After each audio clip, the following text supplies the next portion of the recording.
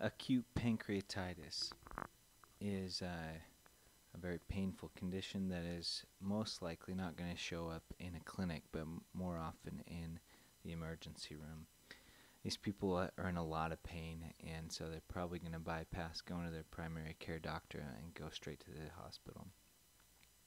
The pain is usually in the upper middle uh, abdomen or uh, or on the left side. It can radiate to the back.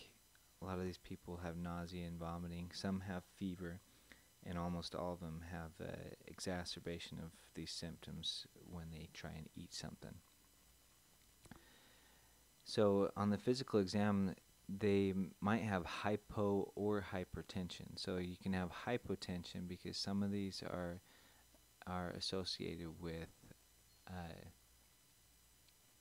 with a lot of bleeding or uh, possibly movement of fluid into the uh, peritoneal space. Abdominal tenderness is common, but it's not going to be as much pain as the as the pain they're having from the pancreatitis. Reduced bowel sounds will show up because of uh, a reflex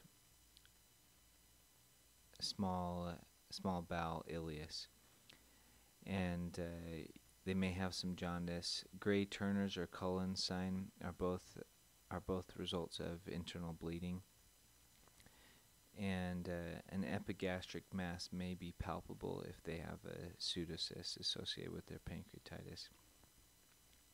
So if you have these these symptoms or some of these symptoms, then then there's other things that you need to rule out. You know, pancreatic cancer can can have some of the these same types of pain. Cholecystitis will have pain usually in the upper right hand quadrant, but it's not always that easy to localize. Gastritis might look really similar to this, as well as in uh, irritable bowel syndrome spontaneous bacterial bacterial peritonitis will have that same type of peritoneal pain. I didn't mention, but the the pain is is often going to be such that the patients don't want to move. Movement will often make it worse, and uh, and that will be similar to the presentation of a spontaneous bacterial peritonitis. Mesenteric ischemia generally will have lower uh, lower abdominal pain, but it can present similarly to this, and uh, dyspepsia, which is often not quite as severe. So, the major causes of pancreatitis are gallstones, alcohol, and idiopathic. Uh, the three of those together make up almost all cases of, of acute pancreatitis. Gallstones, of course, because the stone gets stuck in the common duct and backs up uh, into the pancreas. Alcohol uh, damages the pancreas. It was used to we used to think that smoking might be associated, but but uh, smoking is more just associated with alcohol. It's uh, not associated with pancreatitis. And the idiopathic causes represent up to 30% of all acute pancreatitis. So a lot of these people won't go home with a real understanding of why it happened. Hypertriglyceridemia and hypercalcemia both can lead to pancreatitis. There are several types of genetic causes of, of acute pancreatitis. Lots of different drugs can can do it the AIDS drugs, diuretics, valproic acid, and, and some chemotherapy drugs all can can lead to acute pancreatitis. And there's lots of vascular causes. One of the big ones is splenic vein thrombosis, but there's also, uh, you know, any your vasculitides can can cause ischemia to the pancreas, as well as hemorrhage from trauma uh, or tumors. Uh, tumors can block the pancreatic duct. Infection, HIV is a big one, but but any type of uh, bacterial infection can also cause pancreatitis, and there is an autoimmune pancreatitis that is fairly rare, but it still is a significant cause. So, if we are uh, suspicious of pancreatitis, amylase and lipase tests are the two big tests that we'll want to order. There are other pancreatic enzymes that may be helpful. Uh, you know, your acute phase reactant uh, or your acute phase proteins like uh, C reactive protein and others may help to contribute to the diagnosis, but really the amylase and lipase are the big ones. Some things might show up on chest film. You may be doing a chest film to rule out other causes. Uh, I won't go into the the signs that you can see on chest film. The CT scan is really the the major diagnostic tool or imaging tool used for pancreatitis. Um, abdominal ultrasound can help to uh, rule out other causes, uh, for example, just plain cholecystitis. And uh, it, it can also be used to identify pancreatitis, but that's dependent on how good the ultrasound tech might be. MRI is is gaining ground in use for acute pancreatitis, and MRCP is is one well, and ERCP are both both used when uh, gallstones are suspected as the cause.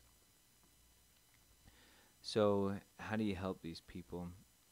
The major thing is to help them uh, not to die from uh, the effects of uh, of fluid imbalances. There can be a lot of fluid accumulation around the pancreas and uh, and these people will need fluid replacement, or else they uh, can get hypovolemic, and uh, they can get acute tubular necrosis, as well as mesenteric ischemia. So that's an important thing to monitor their fluids. Some of them will need supplemental oxygen. Uh, pain is going to be what they're going to be most worried about. They'll be asking for something to help with the pain because it is very painful. As far as nutrition goes, we are moving towards uh, using more enteral nutrition as opposed to parenteral nutrition. Uh, it's it's been shown that uh, enteral nutrition helps to prevent uh, dislocation of of um, gastrointestinal bacteria, and uh, so the the more we can use enteral nutrition, we will. Of course, in some patients, that's not they're not going to tolerate it, but in those that do, you can use an NG tube or a J tube, and uh, uh, others I will just will require parental nutrition because they won't be able to tolerate enteral nutrition. Antibiotics, uh, prophylactic antibiotics, are most often used. It's a little bit controversial whether whether or not they make a difference, but uh, there is a there is an increased risk for infection uh, due to the uh, peritonitis and uh, and the fluid accumulation. So m- most people will still use prophylactic antibiotics, especially in the face of uh, pancreatic necrosis. Aspiration is again used for pancreatic necrosis, the ultrasound guided uh, aspiration, as well as necrosectomy to get rid of some of the necrotic fluid and culture for uh, resistance uh, to antibiotics.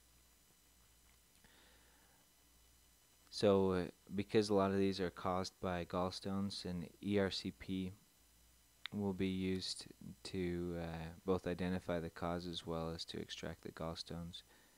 Cholecystectomy is commonly used in order to prevent uh, further injury due to gallstones. Anticoagulation may be necessary if you have uh, a splenic vein thrombosis.